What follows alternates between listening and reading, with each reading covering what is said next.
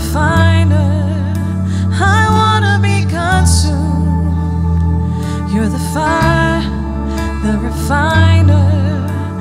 I wanna be consumed. You're a fire, the refiner. I wanna be consumed. I wanna be tried by fire, purified. You take whatever you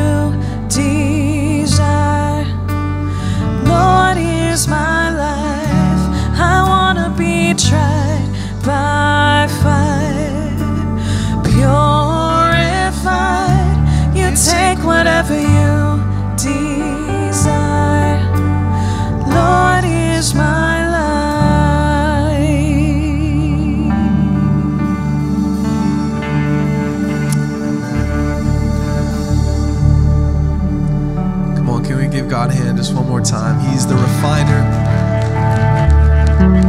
of our lives. Right now, I invite you guys to stand up. If you haven't greeted the person next to you, behind you, across from you, take at least two minutes, give him a hug that lasts at least two minutes, and welcome him here.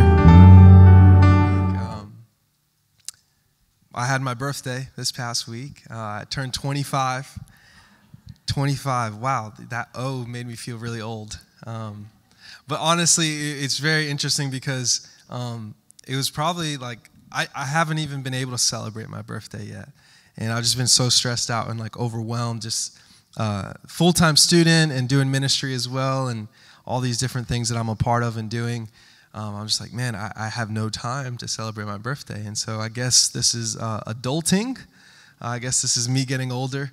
Um, does anybody even celebrate birthdays anymore? Uh, all right, so I should expect to not celebrate them anymore. All right, cool.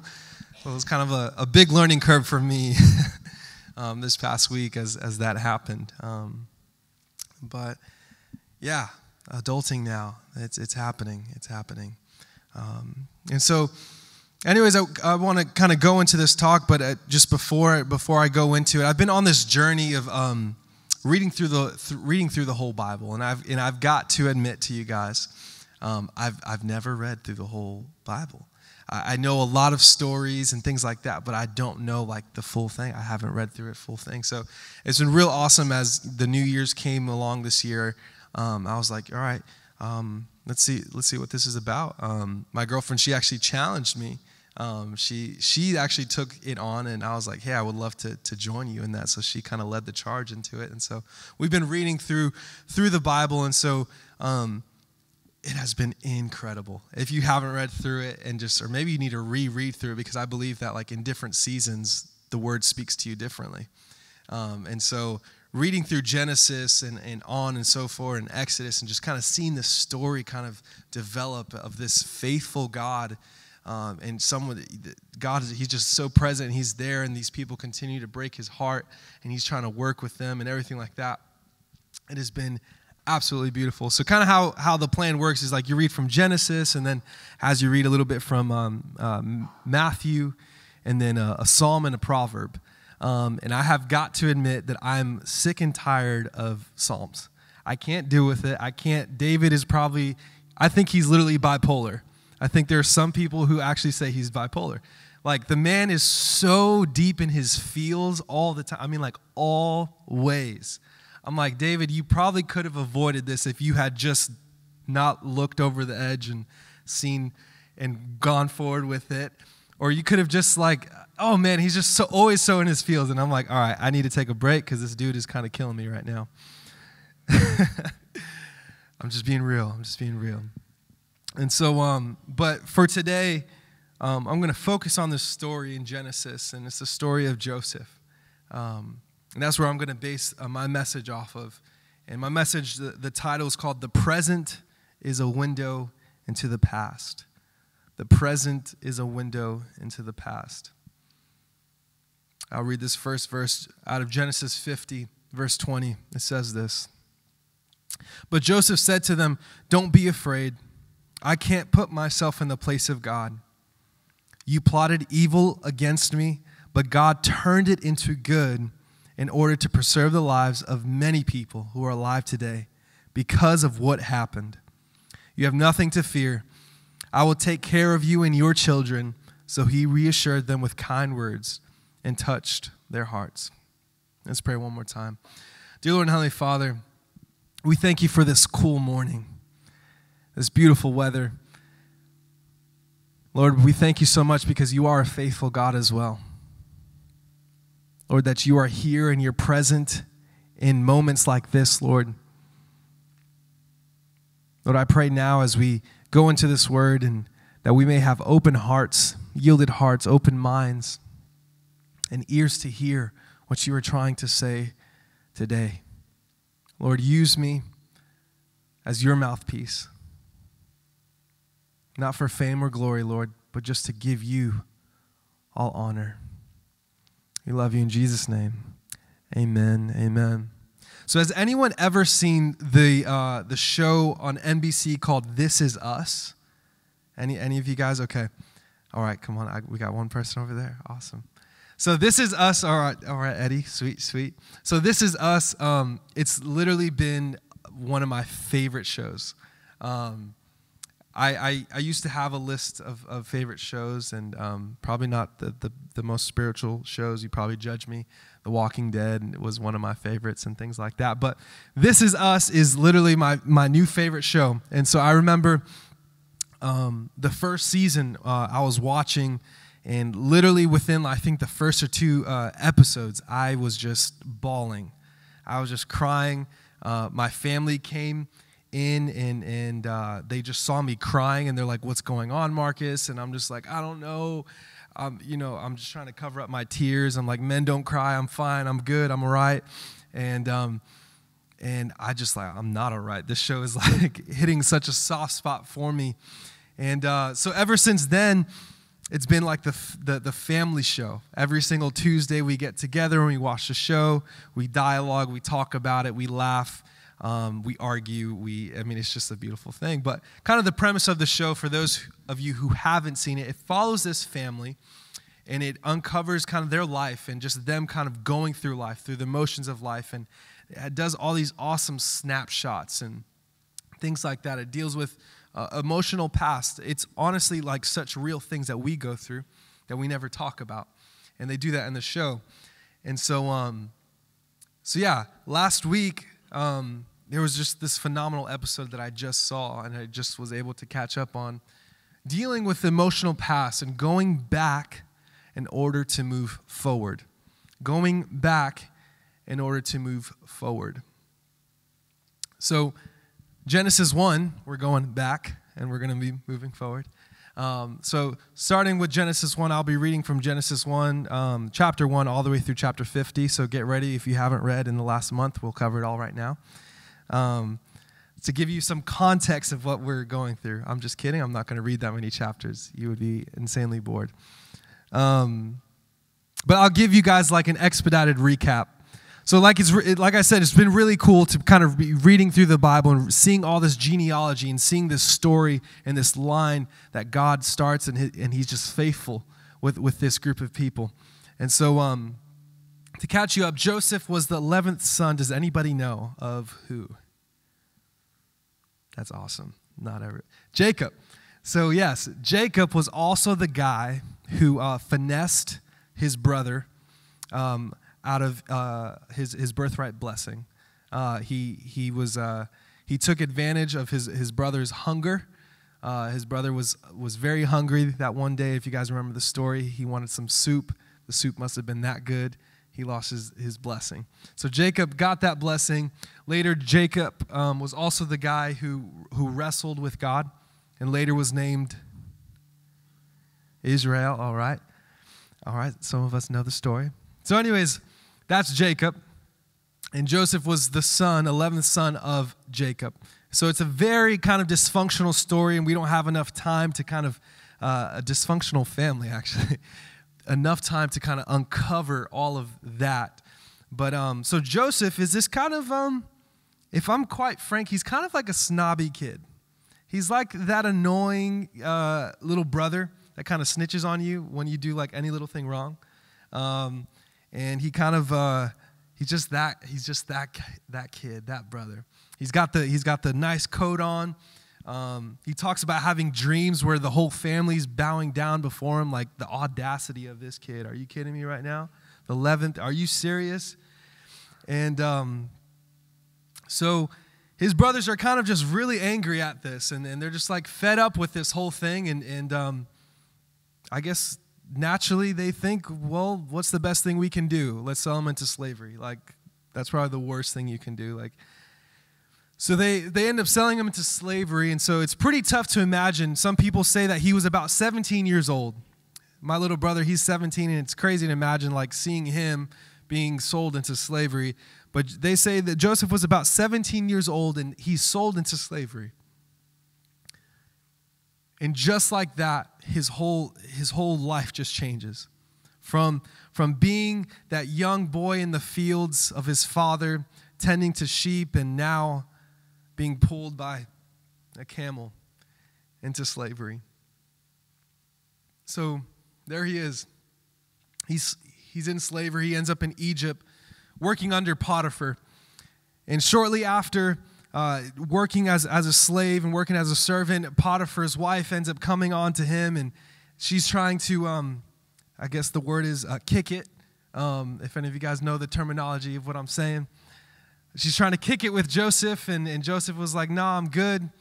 Um, and she just doesn't get the hint. And so one day she ends up falsely accusing him of raping her, and all this stuff kind of happens, and now he's thrown into prison. So if it wasn't bad already, things just get worse. He's standing up for morals and, and, and being a good guy, and now he's thrown into prison for something he did not do. And they say that he was in prison for 13 years. 13 years. Talk about from bad to worse. Actually, just now that I'm thinking about it, just being like innocent and incarcerated, it's crazy. I just saw this movie uh, called Just Mercy, um, which was a phenomenal movie that kind of highlights just how many people are incarcerated um, that have been falsely accused. And uh, it just kind of highlights the story of this, um, this lawyer fighting for these people. And I think it's such a beautiful thing and a replication of what God does for us. Um, and so, anyways, that, that was just kind of just popped into my head as I was thinking Joseph was just completely innocent and he's just incarcerated for 13 years. So things go from bad to worse, but somehow he remained faithful to God. And then these two gentlemen come in and they're also incarcerated and, and, and they're, they're in it and they have these nightmares. And Joseph, he interprets these dreams for them and he tells them one thing. He's like, just please remember me when you leave. And they leave and they're back in the Pharaoh's palace and they completely forget him. And so then one night, the Pharaoh has a dream and nobody can interpret it. And then eventually they remember, or one of them remembers, hey, there was this guy in prison. And so overnight, from interpreting a dream for Pharaoh, Joseph was made the second most powerful person in all of Egypt. So he's living life now. Are you guys following me with the story? I'm just trying to catch you guys up. Then we're going to go into it. So he's living life now and he's doing great. He's the second man in command. He's got wealth. He's got so much and he's and, and, and he's kind of talked about this famine and he's prevented it and he's, he's doing all these plans and he has a very high value. And then the famine comes and his brothers that he hasn't seen in forever appear. This is the moment in the story where there's like this record screech. They're like, what? I wasn't expecting this. This kind of came out of nowhere. Where, where, where is this going? His brothers appear. His past came up. His past met him right there in front of his face, and he had to deal with it. And I think, I mean, if you're the second most powerful person in command, I mean, you can just tell other people, all right, off with their heads. I mean, you don't have to really deal with it. You can just say the word and they're gone. But Joseph decides to do something different. He decides to deal with it, he decides to take it on personally because he had to go back in order to move forward. That present moment right there was a window into his past that he had to step through. See, I wonder how many of us today need to go back in order to move forward. Kind of a personal story. Last year, I was in this season where I was really going back. I just, I just kind of fell in love with just, just going back to the start of, of just where, where my heart was when I first kind of encountered God and just those pure, unadulterated moments. Um, and so I just, just the simplicity of worship. I mean, just so much, those quiet moments, just going back into those small and just precious things. But part of it was also learning my history, was learning my family history. And so um, I would literally just sit down my grandmother and I'd be like, just tell me everything. I want to know everything. Um, tell me about you. Tell me about me. Uh, what was I like? I mean, you see all these like awesome, like little Polaroid old photos and VHS players. Yes, I know what VHS cassettes are. I'm not that young. I guess I am old. Anyways. and so I was just sitting down in front of my grandmother and my mom and just learning and just taking it all in and learning all these stories and, and their history. See, I believe that the more we know about our families, the more we know about ourselves and the more freedom we have to make decisions about how we want to live. I'll say it again, and I believe I have a quote for that there so you can, can read along with it too. It says, or I can just read it for you. Oh, there we go. The more we know about our families, the more we know about ourselves, the more freedom we have to make decisions about how we want to live. We can say, This is what I want to keep, and this is what I don't want to bring with me into the next generation. So, as I learn more about myself, I realized that my story didn't start February 18th, 1995, in the downtown Orlando, Florida hospital. It started way before that. And just kind of a brief snapshot of that my mom was 16 when she had me. She was 16, and, and my dad kind of fled the scene.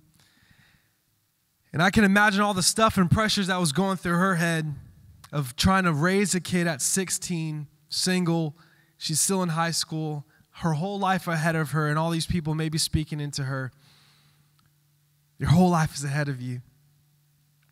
But she chose life, and God honored that, and I get to stand here today because of that decision she made. But fast forward 16 years from there, it's January 2012. And, and I'm in the doctor's office, and I've, and I've talked about my story dealing with testicular cancer, losing both of my grandparents, and, and having my lung collapse. And it was the craziest time of my life. But even after getting healed from all of those things, there was still some things that I just was never healed from. There was still some past things that I just couldn't get over. There was these moments where I would experience just great depression and great anger and pain and anxiety. There were just some things I couldn't get past. God had done all those incredible things, but I was still hurting. I was still hurting. I had to go back in order to go forward. And part of that process was recognizing that I have some serious daddy issues. I have some serious daddy issues. See, I traced down some of those feelings of anger, depression, anxiety, and I realized that it all stemmed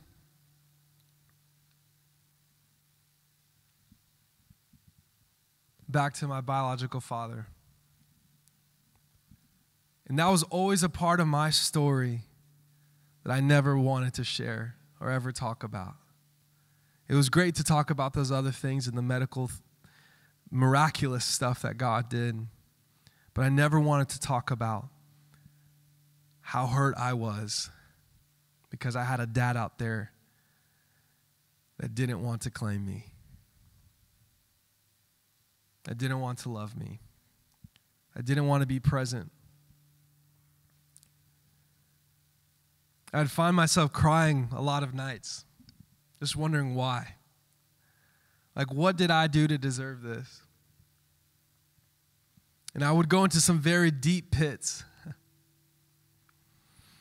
so, honestly, like I said, this was just last year. I ended up going to counseling and dealing with that. And it was a very deep and real process. I mean, just some deep crying. I mean, like stuff I just never knew I had pent up in me. But out of all my grieving and pain, I truly learned to forgive my father. God really gave me the eyes to see that my father, unfortunately, he comes from a, from a history, a genealogy of fathers that were never present. That they never decided to step up and into their families, and I had to learn to give grace. And I'm still in that process, guys. I'm still in that process because if I'm being completely honest with you, last year was awesome, and I learned to forgive him. But this is just being extremely honest. He texted me on my birthday. I haven't heard from him in a year or two. And um, it was it was it was very it just said happy birthday and I was just like okay thanks I mean I haven't heard from you in 2 years and um, he, he ended up putting it on me as far as like it was my fault that I haven't heard from him in two years. And I just, I had some stuff that I had to say and I just let it out. It's a process. I guess that's what I'm, I'm, I'm trying to say. It's a process of learning how to, to, to continue to be graceful, even when people don't deserve it. But I had to choose forgiveness because I know that it wasn't mine to carry this grudge, that I had a heavenly Father who says, I am more than enough, who says, You are more than enough. And because of learning my past and going back to that place, I, I get to um, say, I'll never be that to my kids.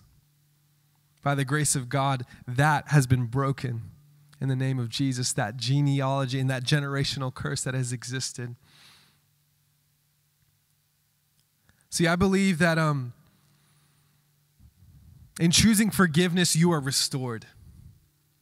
In choosing forgiveness, you are restored like never before. But part of that process, like I'm saying, is going back. Going back in order to go forward. I have this other quote here God never loses any of our past for his future when we surrender ourselves to him. Every mistake, every sin, every detour we take in the journey of life is taken by God and becomes our gift for a future of blessing. For a future of blessing. He uses everything, everything. In his, in his sovereignty, he turns it for our good. I think oftentimes we forget or, or, we think that God forgets, but God never forgets. We think that it's, it's all right, well, it's done. I'm never going to see it again, but God's going to bring it back in a different way for a gift, for a future of blessing.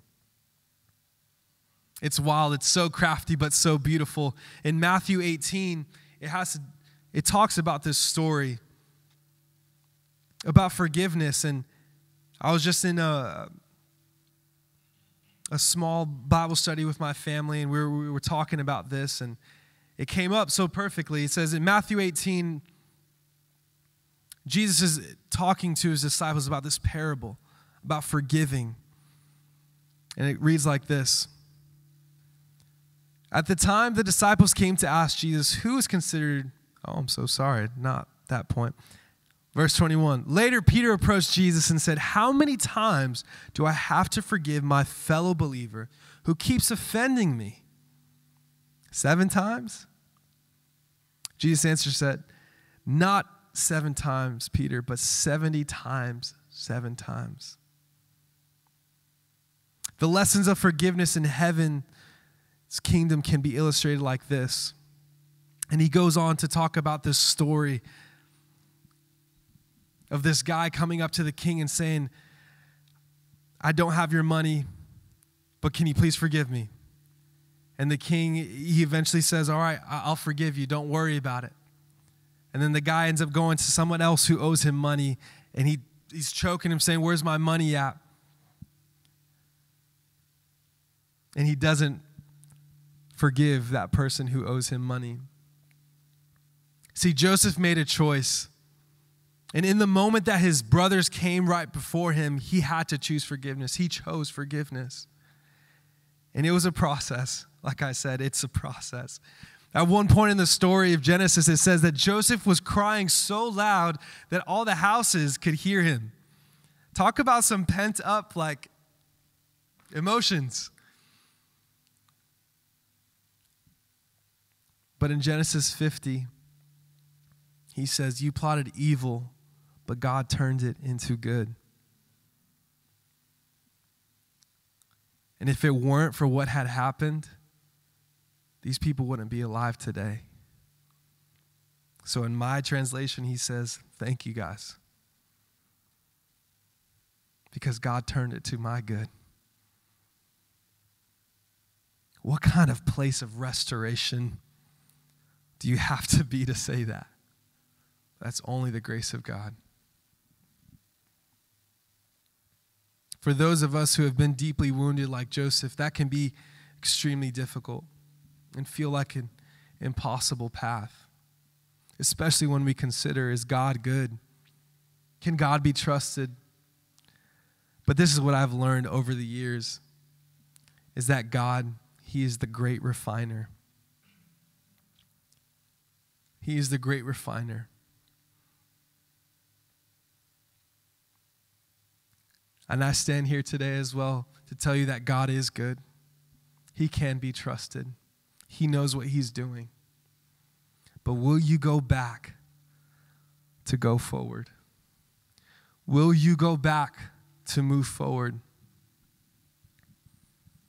Because I believe that the present is a window into the past. The journey begins in the present it leads you to the past so you can thrive. So you can thrive in God's fullness, in everything that He has planned for you, so you can thrive in the future. But today, this moment right now, you have to make that decision to step into the past. There's some things there that God wants to bring you through and build in you. I can admit today I'm still in that process, but it's such a beautiful process because God is refining me. Because God is refining me. And like a refining fire works with gold, it, it, it, it gets out all the impurities so that the gold is the purest form of gold. Absent of impurities, absent of defects. Our God is that fire, He's that refiner. I remember thinking to myself earlier this week, I'm like, man, what can I share to you guys? If anything, I should be on the opposite side and you should be talking to me because I, I want to learn. I want to know the stories. I want to know how God has moved in your life. There's so much I feel I can, I can learn from each one of you. But I believe that the Lord wants to refine each and every one of you today. He wants to bring about restoration where there's been brokenness. He wants to bring peace where there's been turmoil in your life. If somebody has wronged you, He wants to bring right. He wants to restore. He wants to heal some wounds. He wants to take off the yoke that you've been wearing for so many years. And He wants you to forgive. And maybe that's you in this place today who's kind of withheld forgiveness from somebody who's wronged you in the past. I don't know how many times I've seen the story play out where people are, are, are, are on their deathbed and they're just like, man, I just wish I had. I just wish I had said I love you one more time. I just wish I had said I forgive you. Because I don't want to carry this anymore. So if that's somebody here today, I want you to bring to mind that person that has maybe wronged you. And I want you to reach out to them. If there are things in your past, don't be scared because God is God Emmanuel and He's with us. He's going to be with you every single step of the journey. But He wants to bring restoration. Because in order to be restored, you have to be refined. And I want us to go back into this song and just declare this chorus and the bridge a couple times. And if that's you today that wants us to say, Lord, I want to be refined, I want to be restored, I want you to stand up as we sing it together.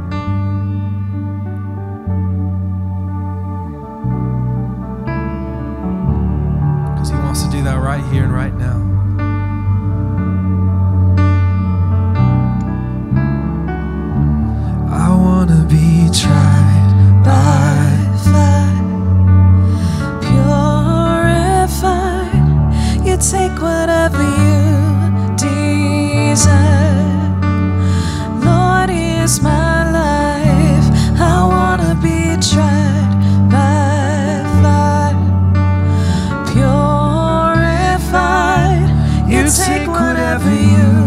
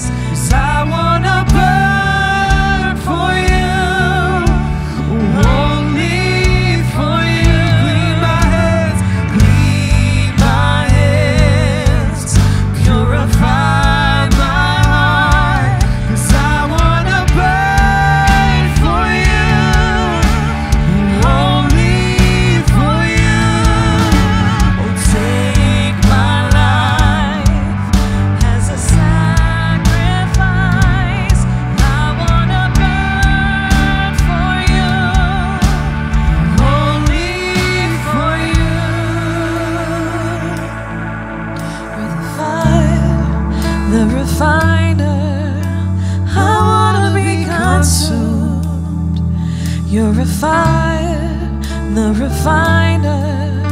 I wanna be consumed. You're a fire, the refiner. I wanna be consumed. I wanna be tried by fire. Purified, you take whatever you desire. safe. I wanna be tried by fire, purified. You take whatever you desire. Lord is my life. Amen. Can we just give God a hand? He's the refiner. I have just one last thing I want to share with you is that we sing this song, Tried by Fire. And I said, God is a great refiner. And the furnace of affliction in the family of God is always for refinement, never for destruction. There's just last few verses in Isaiah I want to close with. Isaiah 43 says, Do not be afraid. I will save you. I have called you by name. You are mine. And when you pass through deep waters, I will be with you. When you go back into the past and find some things that you haven't dealt with, find some skeletons in the closet, I will be with you. Your troubles will not overwhelm you. When you pass through fire, you will not be burnt. The hard trials that come will not hurt you, for I am the Lord your God, the holy God of Israel who saves you. I will give up I will give up Egypt to set you free. I will give up Ethiopia and Seba. I will give up the whole nations to save your life. Because you are precious to me. Because you are that precious to me. And because I love you and I give you honor. This is the Lord of all saying, I give you honor. Do not be afraid. I am with you. So, Lord, we thank you so much for today. Lord, I thank you for what you've been doing in my life, and I understand that it's a process, Lord, but teach me to give grace even when I don't even know how to. Would you teach us to be a people of forgiveness? A people that reflect the Father's heart for every single person who has wronged us, who has spoke against us. Let us be a people of love. Lord, we ask that your fire refines us, that it may take away any blemish or anything that is holding us, any thorn in our side, that we may be able to step into the fullness and thrive in the life that you've created us to live. Lord, we are comforted by those words in Isaiah that say, You are with us every single step of the way. When we walk through trials, when we walk through fire, we know that we will not be burnt. Because you are God, Emmanuel, and a God of his promise. Today is the present, Lord. And we're stepping through that window. And Lord, I pray if there's anybody that we need to forgive, Lord, that you place that person in our hearts. That we may go back in order to move forward. Thank you for this word, Lord. We thank you in Jesus' precious, holy name. Everyone said,